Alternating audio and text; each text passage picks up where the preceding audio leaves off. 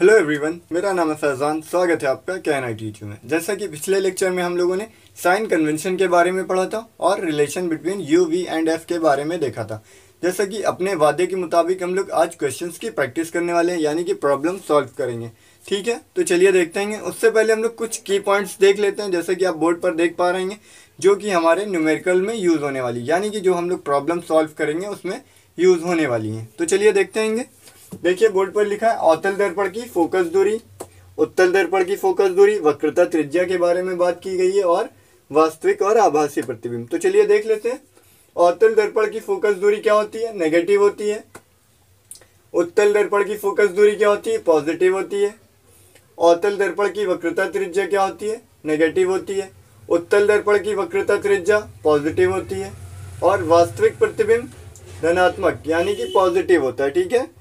और आभासी प्रतिबिंब क्या होता है? नेगेटिव ऋणात्मक होता है। ये सारी चीज़ें आप नोट कर लेंगे अपनी कॉपी में अच्छे ढंग से। और देखिए, ये सारी चीज़ें जो हैं ऑब्जेक्टिव में पूछी जाती हैं। जैसे पूछ लेंगे कि अवतल दर्पण की वक्रता त्रिज्या नेगेटिव होती है या पॉजिटिव होती है। ठीक है? और इसी तरह से फोकस दूरी के बारे में भी पूछते हैं ऑब्जेक्टिव में। तो हम लोग क्या करेंगे? इसे अच्छे से नोट्स करेंगे अपनी कॉपी में और इसे अच्छे से याद भी करेंगे। ठीक है? तो की पॉइंट्स देख लिया और आप ये देख पा रहे हैं प्रॉब्लम एनालिसिस प्लान और अटैक इनका क्या मतलब है? इसे किस लिए लिखा गया है तो इसे हम लोग एक बार समझ लेते हैं।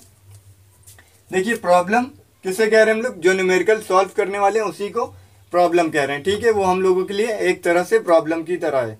तो चलिए न्यूमेरिकल को हम लोग प्रॉब्लम कह रहे हैं। ठीक है? और प्रॉब्लम को सॉल्व करने के लिए हम लोग को क्या चाहिए? एनालिसिस करेंगे। जो प्रॉब्लम होगी, उस पर एनालिसिस करेंगे। उसके लिए प्लान बनाएँगे और फिर उसके बाद उस पर अटैक करेंगे। तो अपने एनालिसिस में क्या होगा? हम लोग सबसे पहले क्वेश्चन को अच्छे ढंग से रीड करेंगे। उसमें देखेंगे क्या क्या दिया है, यानी क्या गिवन है। उसके बाद हम लोग प्लान बनाएँगे। प्लानिंग में क्या शामिल होगा? कि किस हथियार से हमें लड़ना है। यानी कि फार्मूला फार्मूला यूज़ करेंगे। कौन सा फार्मूला यूज़ करने वाले हैं? और उसके बाद अटैक करेंगे, ठीक है? तो इससे हम लोग देखते हुए चलेंगे, आगे बढ़ेंगे, जिस तरह क्वेश्चन करेंगे एनालिसिस प्लान और अटैक के बारे में बात करेंगे। तो चलिए देखते हैं क्वेश्चन अपना। तो चलिए हम लोग क्वेश्चन को रीड करेंगे, देखिए। 16 सेंटीमीटर फोकस दूरी के अवतल दर्पण के सामने एक वस्तु 8 सेंटीमीटर दूरी पर रखी है। प्रतिबिंब की स्थिति की गणना कीजिए। क्या पूछा है? वी पूछा है। वी हम लोग क्या कहते वी किसे कहते हैं? दर्पण की दूरी। प्रतिबिंब की दर्पण से दूरी कहते हैं ना? ठीक है तो चलिए देखते हैं। एनालिसिस का हिस्सा अपना क्या है? पहले फिगर बनाएँगे। जिस तरह से क्वेश्चन बोल रहे हैं एग्जैक्ट वही फिगर बनाने वाले हम लोग। देखिए, क्या कह रहे हैं? 16 सेंटीमीटर फोकस दूरी के एक औतल दर्पण। तो हम लोग सबसे पहले क्या करेंगे? औतल दर्पण बना लेते हैं। 16 सेंटीमीटर फोकस दूरी का, ठीक है? ये देखिए औतल दर्पण है। नाम दे देते हैं M1 और ये क्या नाम है? M1 M2 ठीक है? प्रिंसिपल एक्सिस होगा इस पर, है ना? प्रिंसिपल एक्सिस के बारे में पढ़ चुके हैं। अगर आपने प्रिंसिपल एक्सिस वाला लेक्चर नहीं देखा तो प्लीज़ पिछले लेक्चर को ज़रूर देखें, उसमें हम लोगों ने प्रिंसिपल एक्सिस पर बात करी है, ठीक है?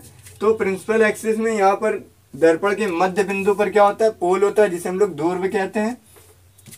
अब देखिए, इतना हम लोगों ने कर लिया है। औतल दर्पण बना लिया है फोकस दूरी कितनी है इसकी? 16 सेंटीमीटर तो यहाँ हम लोग लिख देते हैं।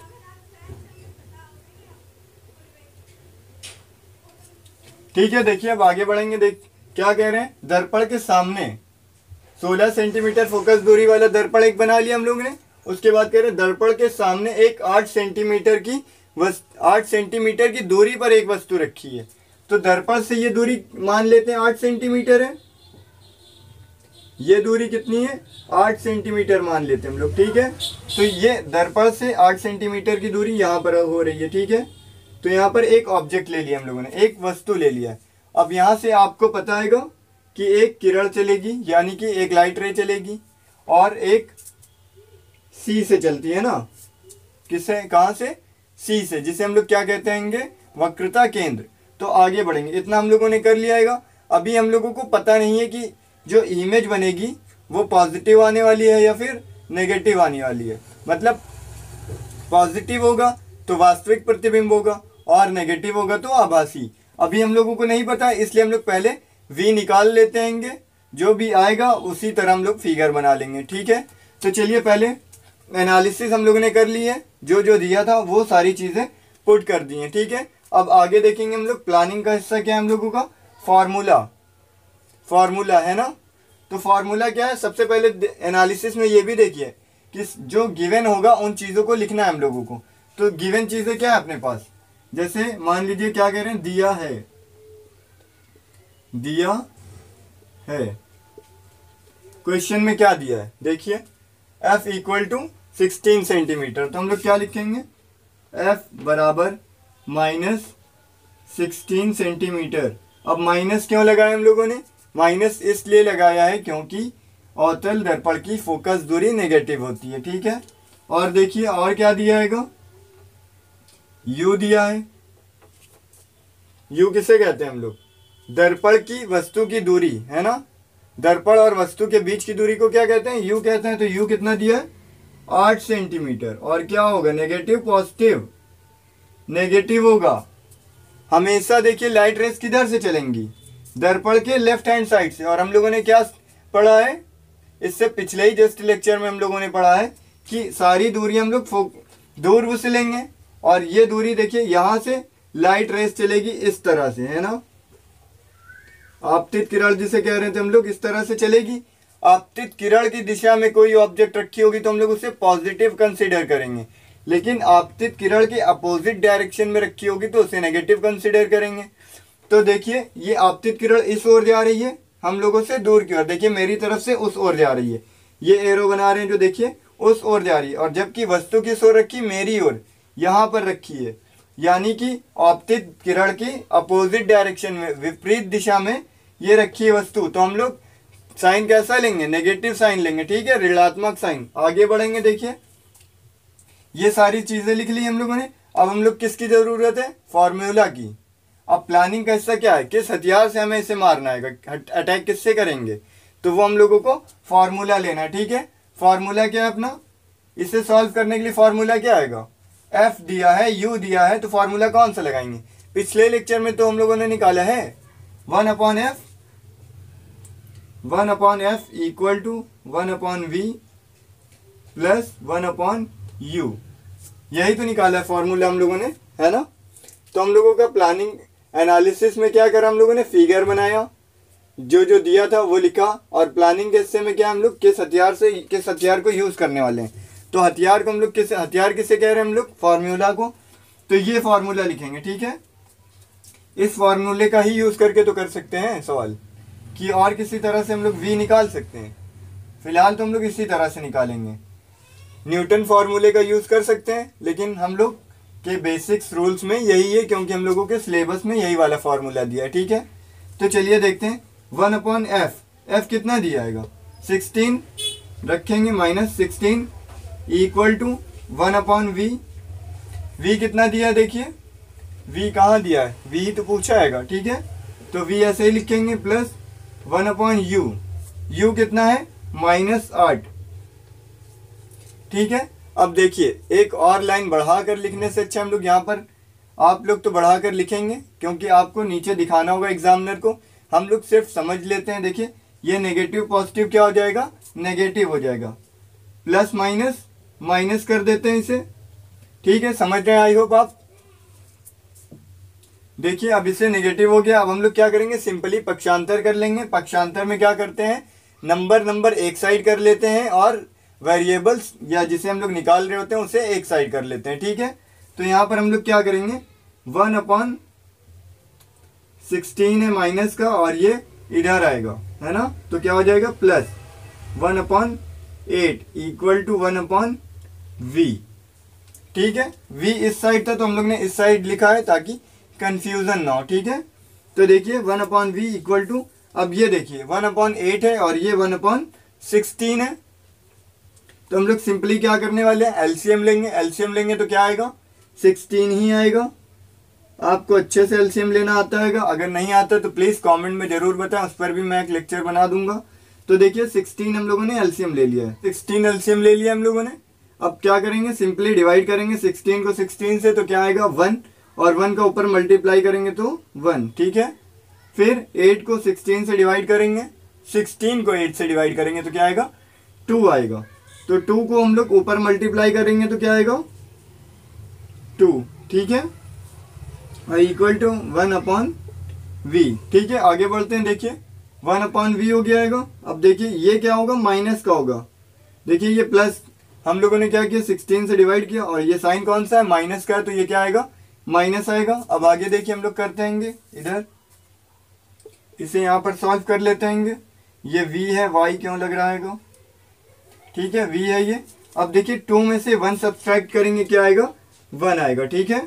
टू में से वन सब्सट्रैक्ट करेंगे, यानी कि दो में से एक घटाएँगे तो वन आएगा और बटे में सिक्सटीन बराबर वन अपॉन वी तो देखिए, v इक्वल टू क्या आ रहा है? V equal to sixteen v equal to क्या आया है? सिक्सटीन आ गया, ठीक है? आई होप आप समझ गए होंगे, यहाँ पर हम लोगों ने क्या किया है? एलसीएम ले लिया है जिसे जैसे हम लोग सॉल्व करते हैं, उसी तरह से किया है आपको आता है अच्छे से। देखिए वन अपॉन सिक्सटीन आया वन अपॉन सिक्सटीन को हम लोगों ने सिंपली क्या किया? क्रॉस मल्टीप्लाई कर लिया। क्रॉस मल्टीप्लाई करने के बाद v इक्वल टू सिक्सटीन मिला है। अब v अगर पॉजिटिव आ रहा है तो इमेज कैसी होगी? इमेज यानी कि प्रतिबिंब कैसा होगा? वास्तविक होगा या आभासी होगा? आभासी प्रतिबिंब होगा, क्योंकि अभी हम लोगों ने जस्ट पढ़ा है, यानी कि अभी हम लोगों ने नोट किया है कि आभासी प्रतिबिंब पॉजिटिव होता है, ठीक है? यानी कि अब ये इमेज कहाँ बनने वाली है? हम लोगों ने बनाया है ये, इस तरह से फोकस दूरी से जाएगा। ये फोकस दूरी मान लीजिए, आपतित किरण जब परावर्तित होती है दर्पण से तो किस ओर, कहाँ से जाती है? फोकस दूरी से। देखिए, ये फिगर बनाएँगे हम लोग यहाँ पर तो अब वो फिगर नहीं बनने वाला है, क्योंकि देखिए, यहाँ पर यहाँ पर हम लोगों के लिए इमेज बनेगी, और इस फिगर को हम लोग कंसिडर नहीं कर सकते हैं। तो एक नया फिगर बनाना होगा हम लोगों को, इसे मिटार लेते हैं, आगे फिगर बनाते हैं, देखिए। औतल दर्पण बनाएँगे, इस तरह से देखिए, और ये क्या है प्रिंसिपल एक्सिस है। ठीक है, और ये पी है। इसे और थोड़ा बढ़ाते हैं। यहाँ पर मान लीजिए कोई ऑब्जेक्ट रखी है। ये भी दूरी क्या है? एट सेंटीमीटर ही है। ठीक है? वही फिगर बना रहे हम लोग, लेकिन वो फिगर काम में नहीं आने वाला था।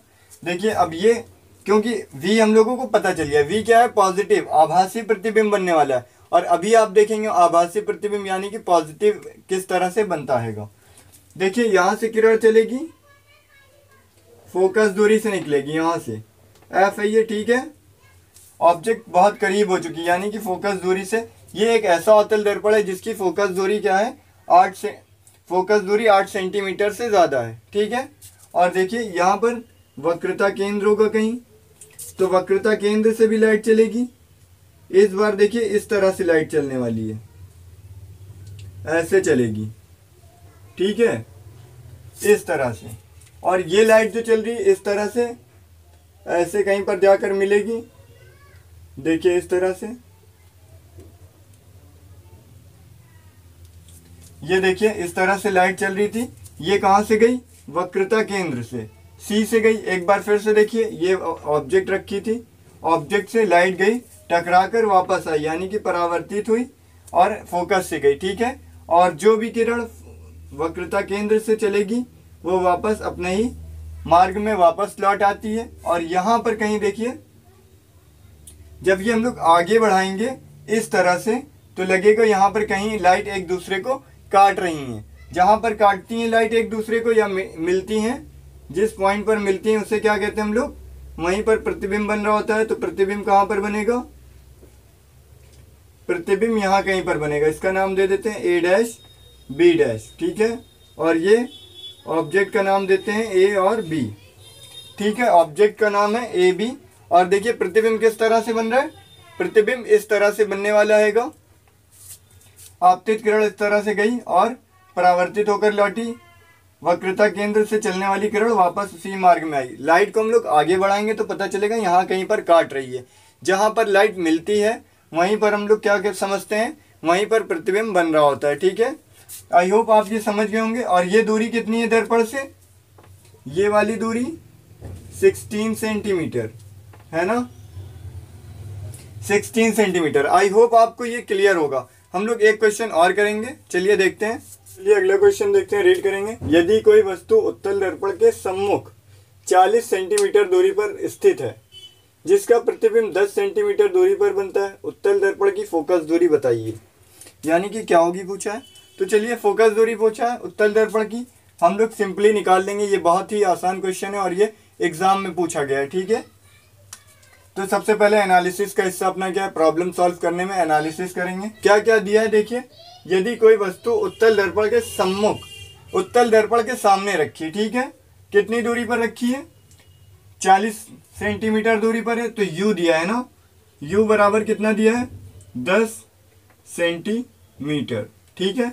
अब हम लोगों ने दस पॉजिटिव क्यों लिया है? क्योंकि उत्तल दर्पण की फोकस दूरी पॉजिटिव होती है ना? बिल्कुल गलत। ऑब्जेक्ट हमेशा आपतित किरण की विपरीत दिशा में ही रखी होगी।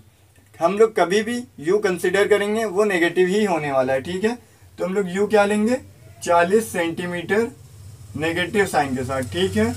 और देखिए, इस बार वी दिया है। वी कितना दिया? 10 सेंटीमीटर ठीक है, और पूछा कि हम लोगों से? फोकस दूरी। इस बार फोकस दूरी पॉजिटिव आने वाली है। क्यों? क्योंकि उत्तल दर्पण की फोकस दूरी, पता है हम लोगों को पॉजिटिव होती है। तो चलिए आगे देखते हैं। एनालिसिस कर लिया हम लोगों ने। एनालिसिस में इस बार फिगर नहीं बना रहेंगे, आप खुद से ट्राई करेंगे। ठीक है? वस्तु की दूरी क्या है? चालीस सेंटीमीटर है, और वी कितना दिया? दस सेंटीमीटर फोकस दूरी हम लोगों को बताना है, ठीक है? फॉर्मूला लगाएँगे। One upon F equal to one upon V plus one upon U. ठीक है? तो चलिए देखते हैं। हम लोगों को एफ़ निकालना ठीक है? तो सिंपल हम लोग एफ़ निकाल लेंगे। बहुत आसान है। यू की वैल्यू रखेंगे। यू का मान दिया हम लोगों को तो यू की जगह पर यू का मान रखेंगे। यू कितना दिया है? चालीस। नेगेटिव साइन के साथ। और ये क्या है? प्लस वन अपॉन वी कितना दिया है? वी का मान दस सेंटीमीटर दिया है। तो हम लोग v की जगह पर ही v का मान रखेंगे, ठीक है? V बराबर दस, ठीक है? अब one upon F equal to simply LCM लेंगे हम लोग को, क्या मिलेगा? चालीस। एलसीएम चालीस आने वाला है। अब चालीस को चालीस से डिवाइड करेंगे तो क्या आएगा? वन आएगा और वन का ऊपर मल्टीप्लाई कर लेंगे तो माइनस वन, ठीक है? प्लस अब फोर्टी को टेन से डिवाइड करेंगे तो कितना आएगा? फोर और फोर को ऊपर मल्टीप्लाई कर देंगे न्यूमरेटर में। तो क्या आएगा? फोर ठीक है, अब इन्हें क्या करेंगे? सब्सट्रैक्ट करेंगे, यानी कि घटा लेंगे। तो क्या आने वाला है ये? One upon one upon F equal to three upon forty ठीक है? अब सिंपली हम लोग इसे हल कर लेंगे। क्रॉस मल्टीप्लाई करने की ज़रूरत है या नहीं है? देखिए, बिल्कुल है। क्रॉस मल्टीप्लाई करेंगे, क्या मिलेगा हम लोग को? Three F equal to forty three F equal to forty मिल गया हम लोगों को। इधर देखिए जैसे हम लोग इधर सॉल्व कर रहेंगे सिंपली इसे हम लोग डिवाइड कर लेंगे। देखिए इस तरह से एफ़ इक्वल टू क्या आएगा? फोर्टी डिवाइडेड बाई थ्री तो एफ़ को इस थ्री से डिवाइड करेंगे तो क्या आएगा? Thirteen point three three three centimetre ये पॉजिटिव ही आने वाली थी, क्योंकि हम लोग को पता था कि उत्तल दर्पण की फोकस दूरी पॉजिटिव होती है। तो आई होप ये आपको आसानी से समझ में आ गया होगा हम लोग ने सारी वैल्यूज़ दी और उसे पुट करके आंसर निकाल लिया। आगे हम लोग और भी क्वेश्चन करेंगे। आज के लिए इतना ही रखते हैं आने वाले लेक्चर में हम लोग आवर्धन का फॉर्मूला पढ़ेंगे, यानी कि उसका रिलेशन पढ़ेंगे और उसके बाद हम लोग और भी क्वेश्चन करेंगे। आवर्धन से रिलेटेड और इसके भी कई सारे क्वेश्चन करने वाले हैं। कम से कम दस क्वेश्चन करेंगे, उसके बाद हम लोग कुछ नया पढ़ेंगे, ठीक है? आई होप आपको ये अच्छे से क्लियर हो गया होगा।